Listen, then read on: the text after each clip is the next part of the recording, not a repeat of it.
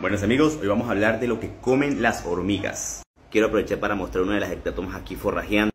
Ellas se quedan así siempre como quietas, como acechando. Yo creo que está viendo su reflejo en realidad.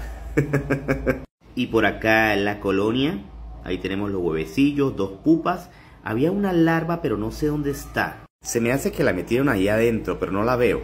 Pues bueno, nada, confiemos en que está bien, porque recuerdo que solo habían dos pupas y una larva que estaba bien gorda y jugosa, pero, pero no está. Entonces debe ser que o la escondieron en alguno de los túneles o se la comieron. No creo, estas no son caníbales. Principalmente les doy, ahora mismo les estoy dando agua con azúcar morena, es esta, esta mezcla que tengo acá. Les gusta muchísimo y pues por un virus que probablemente me está matando a las hormigas, de darles miel con agua.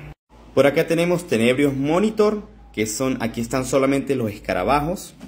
Aquí están las larvas como tal de los tenebrios monitor. Y aquí tengo un mix de los tenebrios palembos, que aquí hay larvas y, escarabajos combinados. Como se pueden dar cuenta, ahí estoy echando los, los tenebrios que se convierten ya como en, el, en las pupitas, en, las, eh, que en la etapa meta, pues, le digo yo. Y por aquí vemos algunos escarabajos que están asustados, a ellos no les gusta la luz. Entonces, ¿qué estoy haciendo yo? Pues aquí simplemente es la cámara de los adultos y esta es la cámara de las larvas. Aquí podemos ver que hay un tenebrio, una lombricita retorciéndose. Y también por acá otro que tengo que mover. Miren, estos se, convierten, se van a convertir en escarabajo. ¿Por qué lo hago? Porque a veces ellos son caníbales y se comen las larvas. Entonces hay que pasarlos a donde están solo los adultos. Más o menos esto es lo que mide un tenebrio monitor, así que toca cortarlos en pedacitos para dárselos a las hormigas porque son demasiado grandes y las podrían lastimar o matar. Y por aquí tenemos los palembus que son más pequeños. Aquí sí yo los tengo combinados porque son muy pequeños, las larvas son muy pequeñas.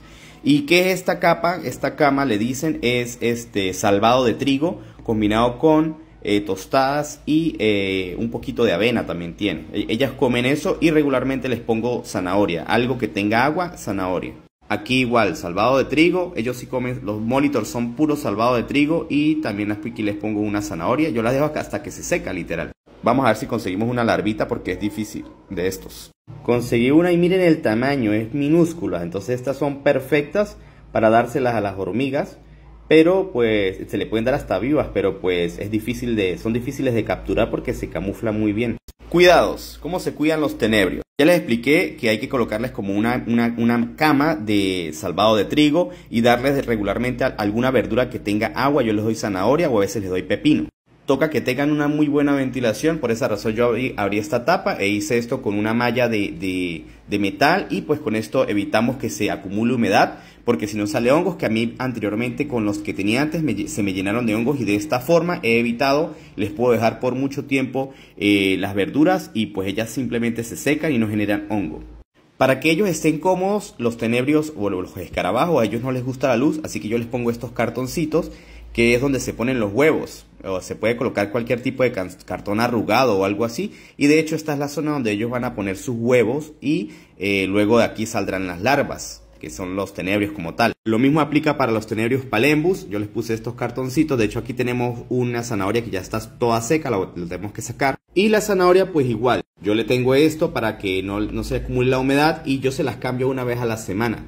También se les puede dar cucarachas pero la verdad es que es muy desastroso darle cucarachas a las hormigas, por lo menos cuando son colonias pequeñas. Yo tengo aquí cucarachas dubias y pues ellas igual, cartones, a ellas no les gusta la luz, por aquí están.